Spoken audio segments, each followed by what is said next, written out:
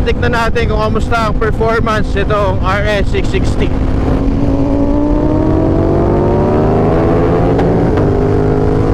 Namiss ko ang J-turn Me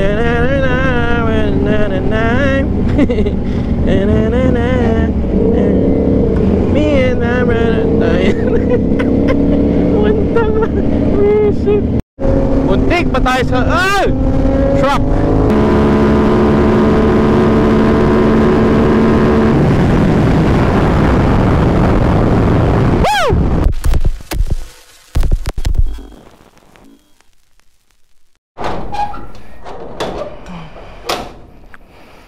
What is up bro, Storky here and again we are back with another video. Yes, yes, yes, we are back. Holiday ngayon mga bro, so medyo kalma-kalma ang paligid.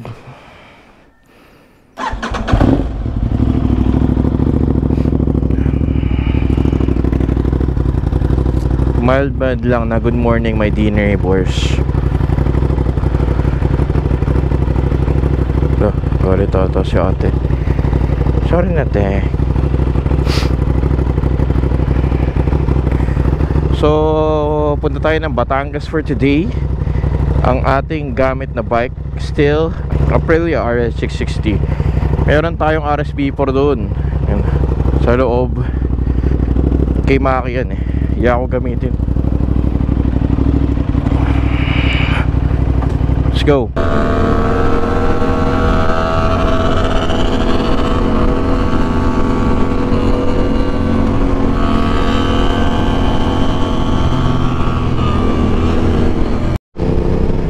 All clear Yan na parang taon ko to bago naranasan ah. Mga 6.30 na ng umaga eh. Kaso holiday ngayon. So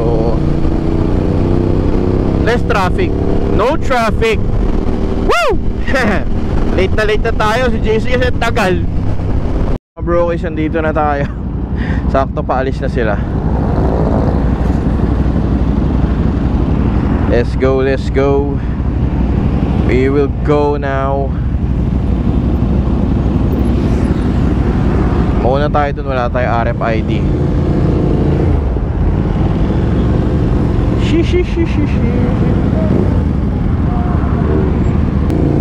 Let's go South Gaming. Batangas Let's go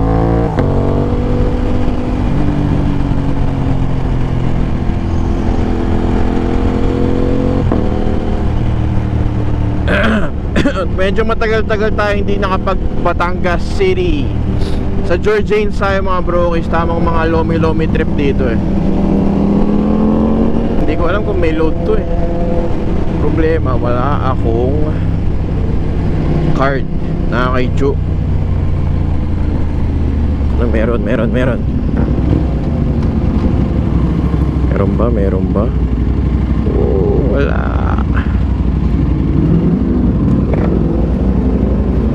Wala akong load te. Walang load.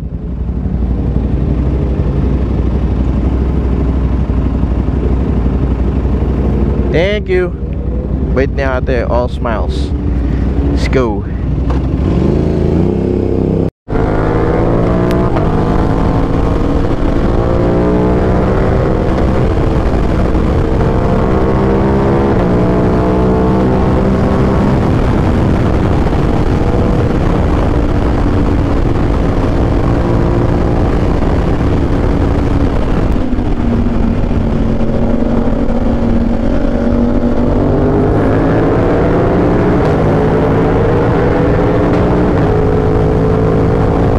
Gapang!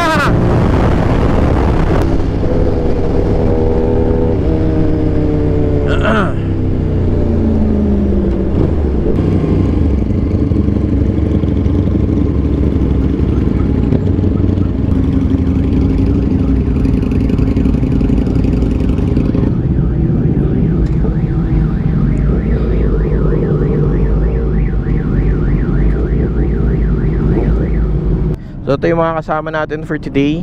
Let's go, let's go, let's go. Gamit natin ah, yung Aprilia RS660 Big shoutout kay Joanna, ang ating manager sa pagpapahiram. Ah, Yung RSV4 kasi medyo nag ah, kailangan may i-reset so hindi ko magamit patay yung traction. Traction control so ma-G-wrap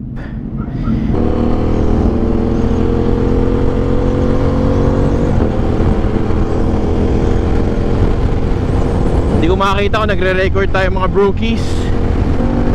So tignan natin kung kamusta ang performance itong RS660 yeah! Har hindi ko lang nakuha yung card nito kaya putik patay tayo nito sa ano? Sa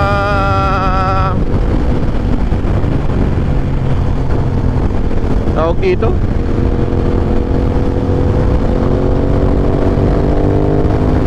pag nag cash tayo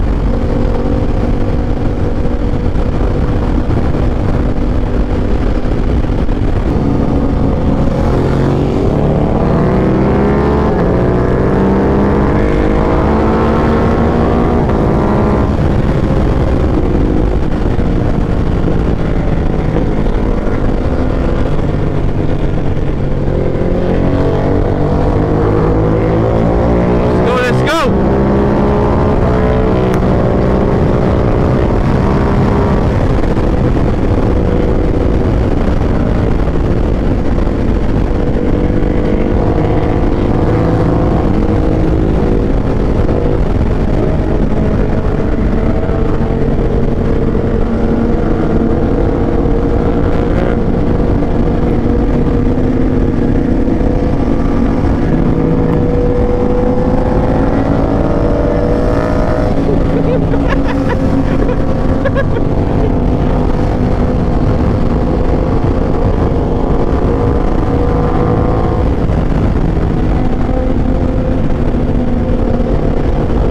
So, uh, namiss ko ang J-Dirt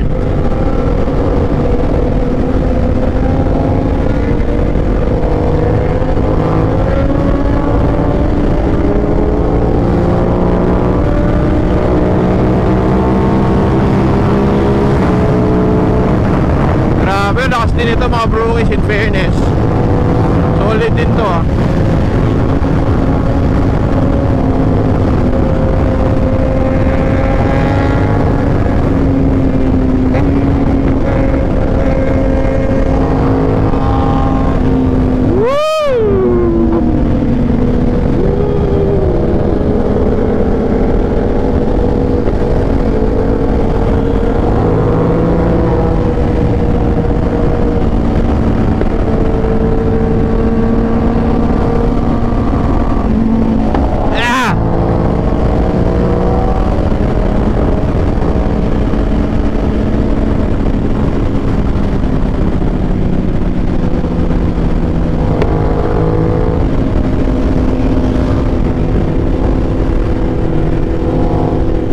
Ah! Mo masarap sa mag sa magaan ng motor.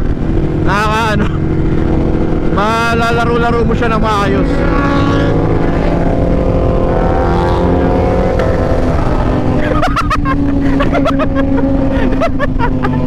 Eh, nako. ano, tinakot ka na sarili mong multo.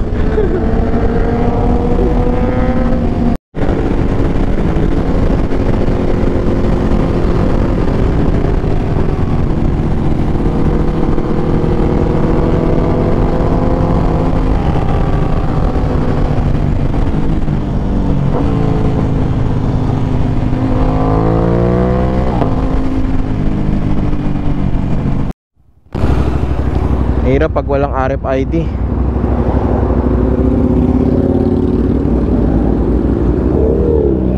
Una na nga ako.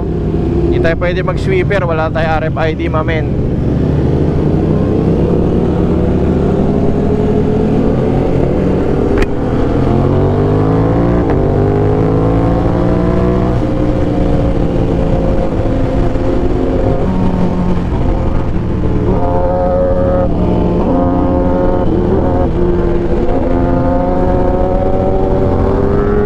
Motochronics! Yes, sir!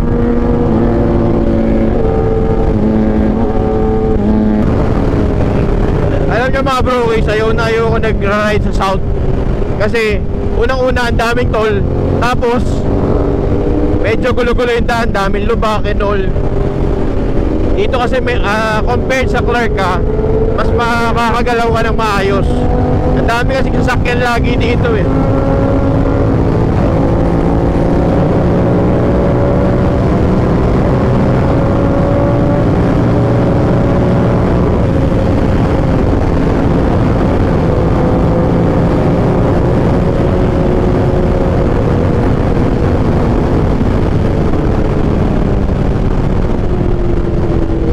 Grabe yung puno.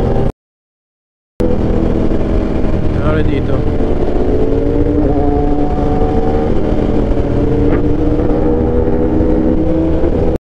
Muntik pa tayo sa... Ah! Truck!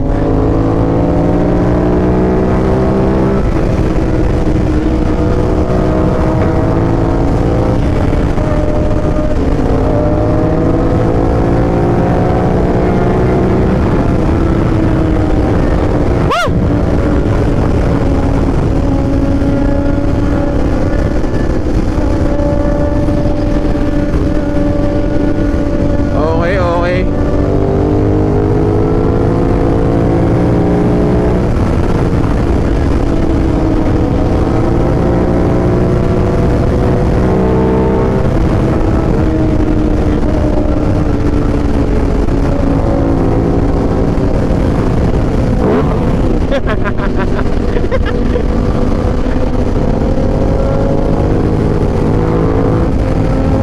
Isipin mo ito mga bro, eh, si Yana.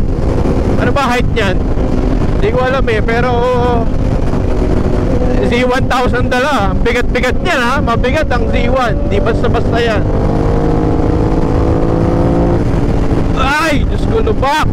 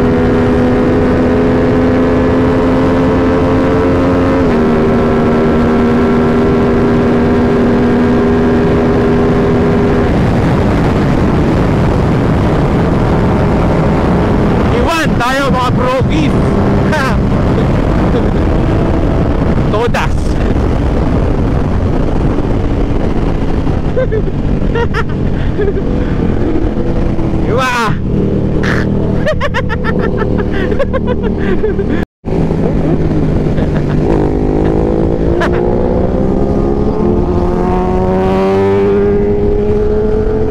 ang pinakaayaw nating daanan.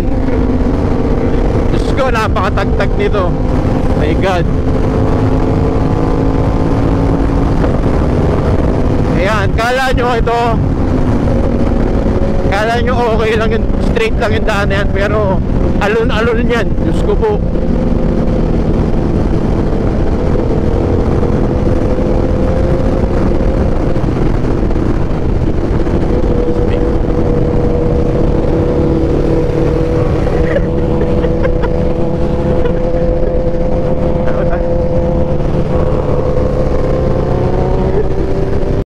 daanan to ah, trip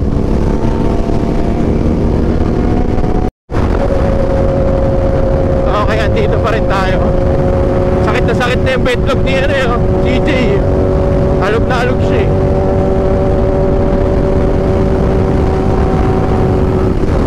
Ah.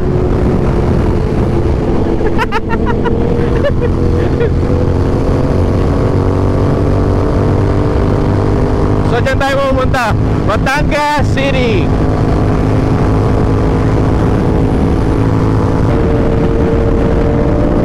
Batangas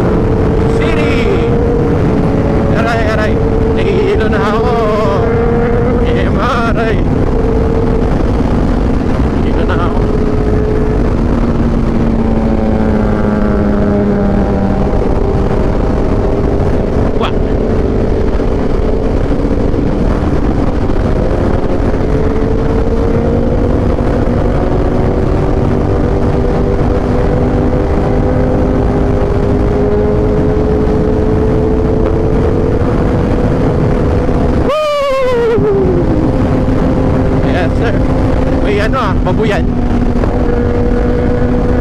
Medyo malapit-lapit na ata tayo mga brokies ko na umexit. Me and my brother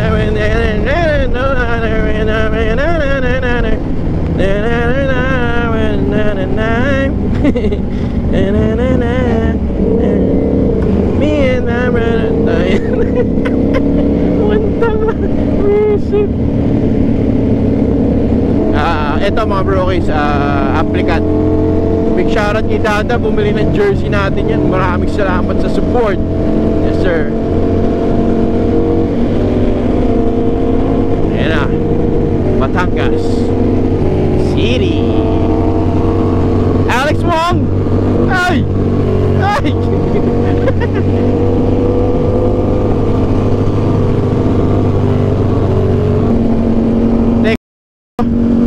Shout out.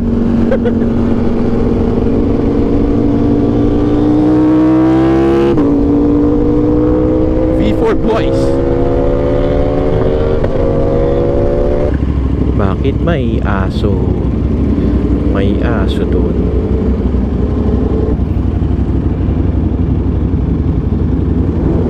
Kano ba yun? Ha? Ah, 4 pesos. Kala ko 400, kinabahan ako. Ito na lang.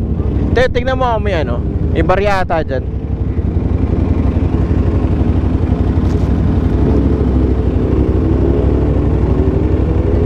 Thank you. Nabahan ako kay ate. Kala ko 400. Diyos ko po. Thank you ate.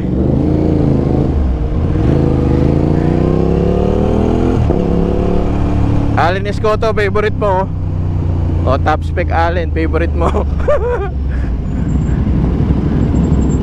Tanga na, munti ka makasaba sa aso. Kanina, ah, may tumatawid na aso. Ano? Nakakala ko si Kent, nasa likod ko. Tangina. Bad trip eh. Oh. So mga bro, is pag-usapan natin ano, kamusta ba kung may gamit kang 600cc dito sa ride na ganito? Ito kasi yung mga ito mga kasama natin ngayon, most puro dilitro. Ito kasi ah, 659 I think. So mga bro, ito yung mga kasama natin for today. Oh. Yan sila lahat. May mga 10R, 6R, ito kay Miko 821, mga V4. Sa amin kasi mga brokies, kadalasan makakasama natin puro dilitro, di ba? First time nating gumamit ng 600cc kasama itong mga to sa expressway. So for me, ano lang eh, palag-palag lang kasi wala. Ito, ito, kumbaga sa diretsuhan, talagang ramdam mo yung difference, maiiwan ka talaga. Pero in terms of, kumbaga, yung torque niya, hindi kayo papahiya, hindi ka naman basta-basta maiiwan. Tsaka, syempre, hindi naman talaga rat-rat all the way yung mga yan eh. Kung bago ka pa lang nagmomotor, hindi siya lula ba? Kumbaga magagamay mo yung mapapractice mo yung skills mo and all.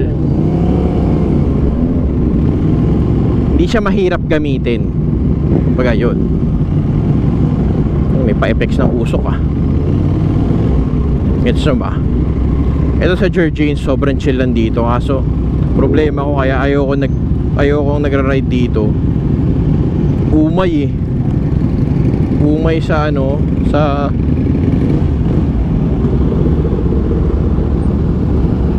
paglampas ng liba napakaano ng daan bad trip. So yun yung mga kasama natin for today. Yan yan yan. Yan silang lahat.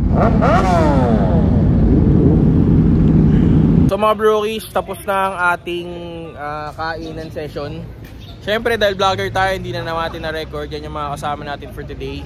Ibang vlog na yung gagawin natin pa uwi para alam mo na hindi tayo tama rin mag edit diba so yun lang, maraming maraming salamat sa pagsama. Kasama pa rin natin si Haring Bangis. Haring Bangis, pakita mo. Yun o. Sa'yo mo, iwan, pati pamilya. Iwan, pati pamilya. Yun. Iwan nga ako kanina eh. Kong TV, nandito rin, Kong TV. Kong TV. Kong TV, what's up mga paa? Shoutout mga pa. Hindi, upload ko na ba? Hindi ko pa upload ko na? So, di ba? Dito, dito kasi sa channel natin, hindi basta-basta yung mga collab natin. Tayo na. Di ba? Si ano, dito rin to. Detective ko na natumanda. Gago, ano yan? Ano? Oh, wait lang ha. Tat pareho tayo ng pareho kami sa salamin ni Miko. ha. Miko, anong grado ng salamin mo? Um, zero. So pakit lang, 'di ba? Ganyan Tama. dapat. Ano kasi Oh, nag-explain. Oh, sige, explain mo. Ito kasi tawag dito. Ano tawag doon? Oh, pakit. Pakit lang. Yun lang 'yun. Tapusin natin yung vlog for today. Ha? Anti-rad. Oh, Ito may okay. blue, may blue lens filter. Okay, okay. Yun lang. Ano ba yan? Photochromic? South.